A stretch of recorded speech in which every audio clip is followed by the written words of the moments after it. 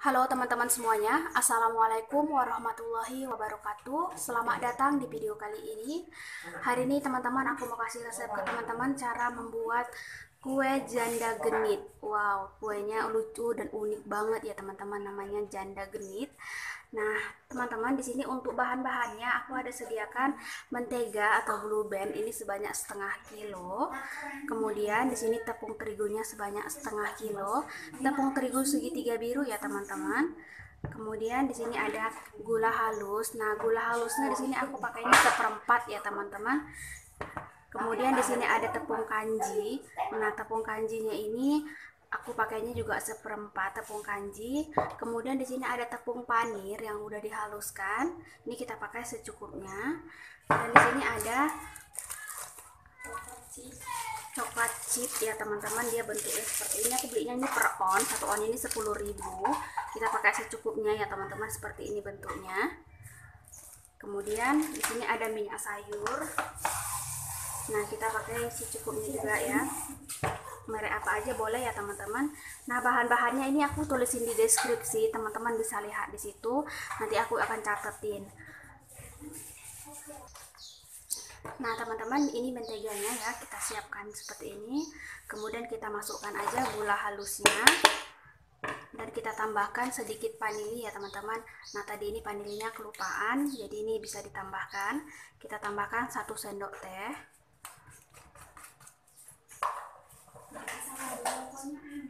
setelah itu ini akan kita mixer sampai semua tercampur rata ya teman-teman.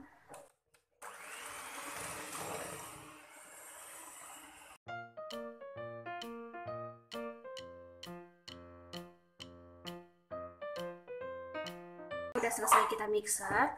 Kemudian kita tambahkan tepung kanji dan juga tepung terigunya ya teman-teman. Kita masukkan sekalian semua kemudian ini akan kita mixer kembali.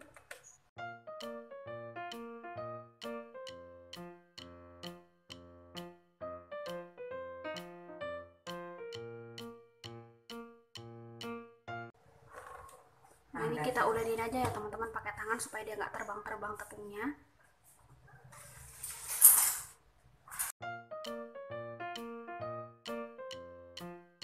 Nah ini udah setengah kali sih ya teman-teman. Adonannya kita tuangkan minyak sayurnya setengahnya dulu sambil kita uleni lagi. Langsung pakai tangan aja teman-teman biar gampang dari tercampur rata. Tangannya pun di sini udah bersih jangan jadi jangan khawatir. Buat teman-teman yang mau pakai sarung tangan boleh tapi yang nggak pakai langsung aja boleh karena ini untuk makan sendiri. Kalau teman-teman mau dijual harus pakai sarung tangan ya teman-teman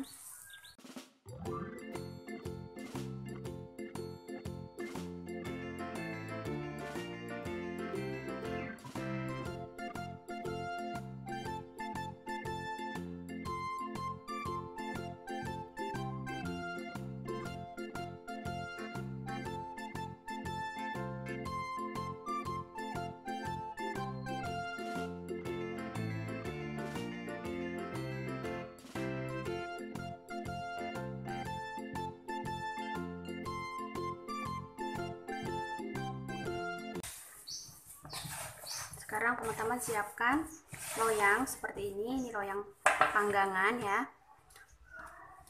Kemudian di sini tepung panirnya juga kita sediakan. Kita taruhkan di pinggirnya. Nah ini akan kita bentuk bulat-bulat. Untuk ukurannya ini jangan terlalu besar ya teman-teman dan jangan terlalu kecil. Sedang aja seperti ini. Ini kita taruhkan di tepung panirnya. Kemudian kita bolak-balik sampai dianya tepung panirnya lengket setelah udah lengket kita taruhkan aja di loyangnya seperti ini.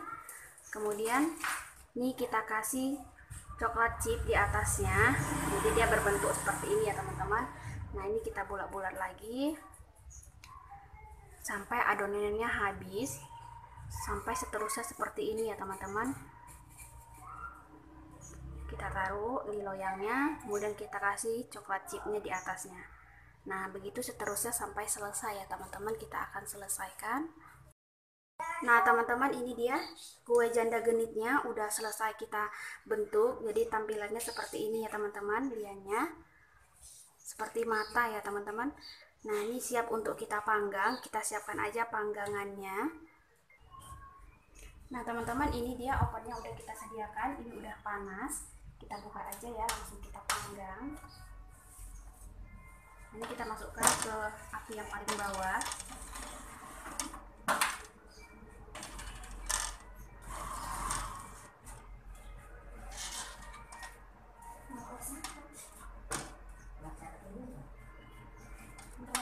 Dan kita taruh di tengah ya teman-teman satu lagi.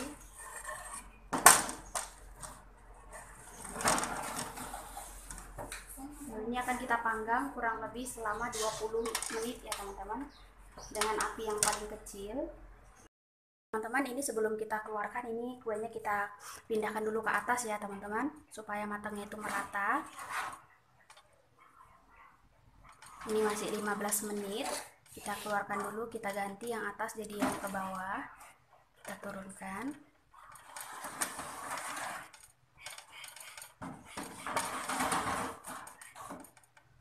Nah ini kita tunggu lagi sekitar 5 menit biar sama rata matangnya ya teman-teman.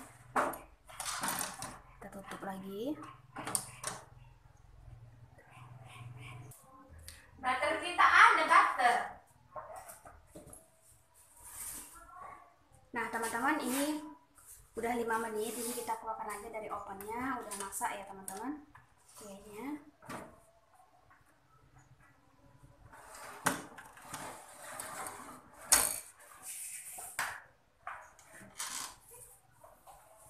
semuanya ini pak atas aja dulu kita yang atasnya dulu ya teman-teman. Nah ini janda genditnya ya teman-teman. Yang satu loyang udah masak kita susun aja di piring sebelum kita taruh di toples. Kita susun seperti ini. Jadi dia mantap banget ya teman-teman. Ini rapuh wangi dan enak sekali rasanya.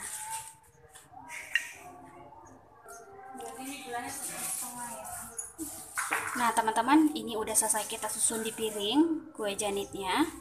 Jadi ini masih satu loyang ya teman-teman yang udah masak Masih ada empat loyang lagi yang masih dipanggang. Jadi terima kasih buat teman-teman semuanya yang udah nonton video ini. Semoga bermanfaat. Jika teman-teman suka jangan lupa untuk like video ini subscribe yang belum subscribe dan share jika bermanfaat. Sampai ketemu lagi teman-teman semuanya pada video berikutnya Wassalamualaikum warahmatullahi wabarakatuh.